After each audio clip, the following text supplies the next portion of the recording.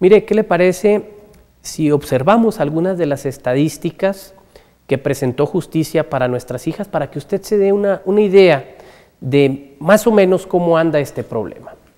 En materia de asesinatos de mujeres, en lo que va del 2014, 27 mujeres pues han, han muerto. De 1993 a la fecha, 2.200 mujeres. ¿Por qué se toma 1993 como referencia? Porque es cuando mediáticamente comienza a sonar este problema, principalmente en Ciudad Juárez. Pues vea esa estadística.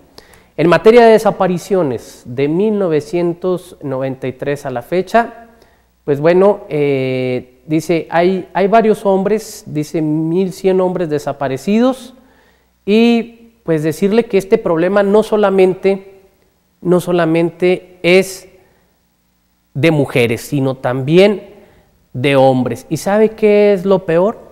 Lo peor es que la mayor cantidad de hombres que han desaparecido, la mayor cantidad se registró en el año del 2008 a fechas recientes o en lo que fue la llamada, la llamada narcoguerra. Pues bueno, cifras que nos deben de poner a pensar a todos y cifras que nos deben de mover a la reflexión, pero sobre todo a las autoridades que son las encargadas de resolver cada uno de estos casos.